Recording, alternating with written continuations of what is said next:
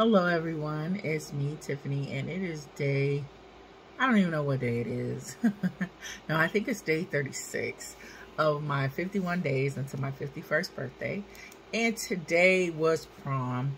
If you follow me on the socials, you will see my daughter in her prom ball gown looking amazing. Pat self on the back, me and my mama and her siblings and everyone else who helped. We really did that. She looked beautiful. Um, and I'm glad it's over. And I don't have to do this again until next year, the same time. And that will be the very last one. My youngest daughter will be graduating next year. Um, really, today was all about prom.